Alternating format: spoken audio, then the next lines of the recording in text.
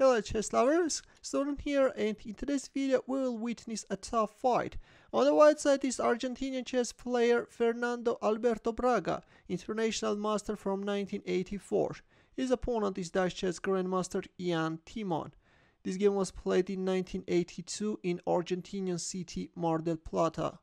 Braga opened up with e4 to which Timon answered with c6. Caro-Kann defenses on the board, advanced variation, knight c3 e6 g4 white is playing very aggressively and is going for a kingside expansion. Meanwhile black is undermining white center.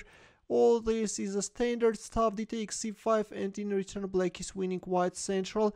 E pawn knight d4 knight f6 f4 knight takes g4 uh, black is heating up the position further. Knight e d7 looks safer, but in our game we have knight takes g4 and after bishop b5 check, we can see that you no longer can cover your king because you will lose your knight. That's why black made a move with his king, thus also making it hard for this dark squared bishop to develop. And also, in future, the king can become a potential target.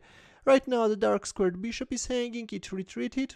Queen c7 hitting on f4, c6, b6. Yeah, black is not eager of allowing knight takes c6 check, but this b6 allowed white to get a passed pawn. Queen e2, queen takes f4, c7, knight e4. This white king is also in the center of the board and yeah, uh, black also goes for a direct kill. The position looks very sharp and both players have to play carefully. Now king goes on d6, h3 trying to kick away this knight, but there came a check king f1, queen f4 check. At this point, black repeated the moves and then went for queen takes c3. Looks very beautiful, right? Freeing the g3 square for the knight in order to uh, simplify the position. In that case, since black has many extra pawns, black will easily convert it. That's why black is looking for a simplification.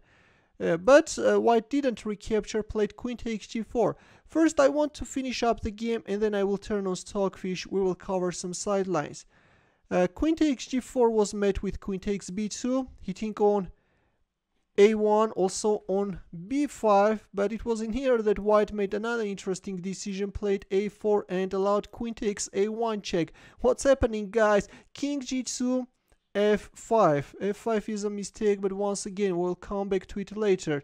The queen is under attack. We have queen h4, queen f6, bishop h2 check. looks interesting, right? Suddenly turns out that this is a check. Nice resource, king c5. And it was in here that Fernando Alberto Braga found another spectacular move.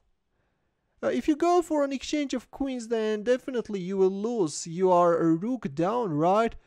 And at this point, can you find white's next move? Ready? Here's Braga played knight b8.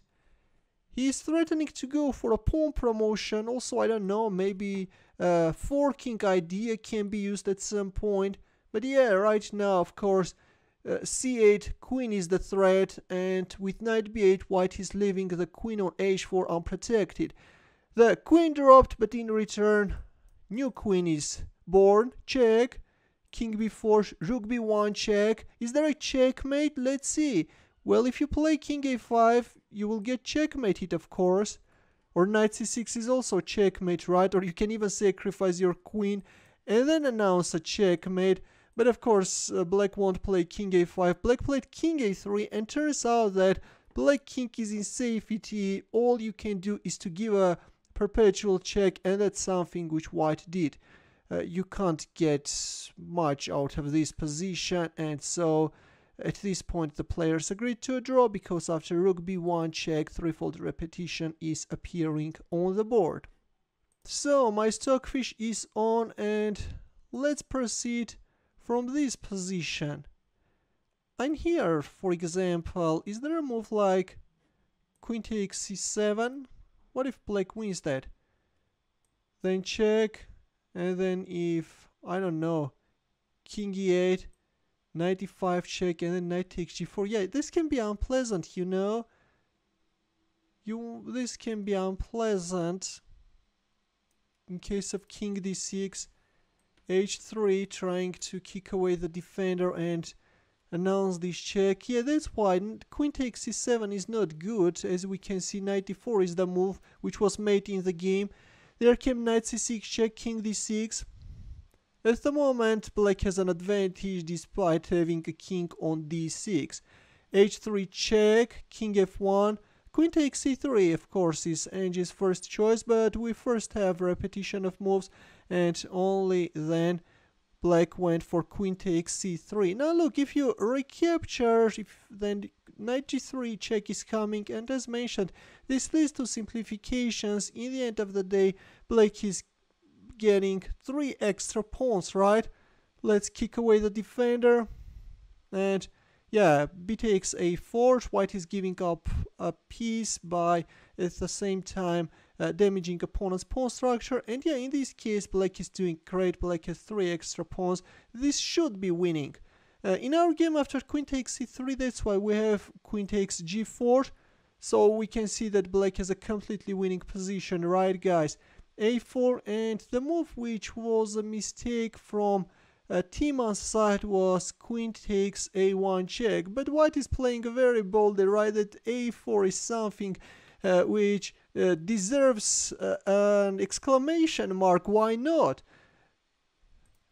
Queen a1 check is not that good. Better is just moving back the queen on f6, announcing a check, and then king takes c7. Trying to keep the position simple, but with queen takes a1, king g2, and now Stockfish says that you should uh, go for queen takes g1 and then king takes c7 in order to keep the advantage.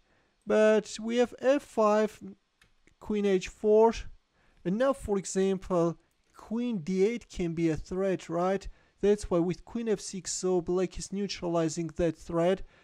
There came a check. At the moment, we have uh, an equality, knight b8, yeah, knight b8 is pretty good.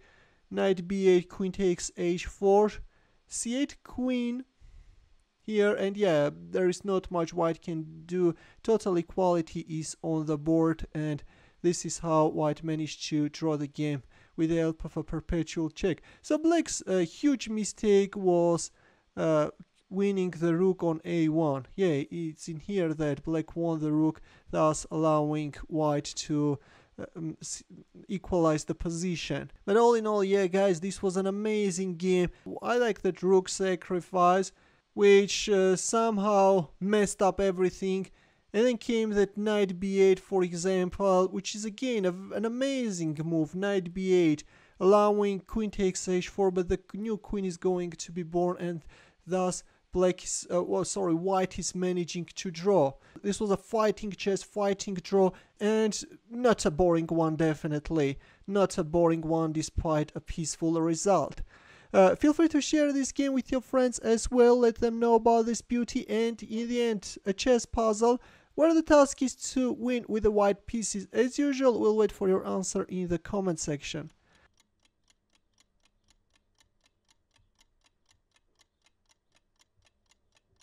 Thanks for watching, we'll see you in my next video. Take care.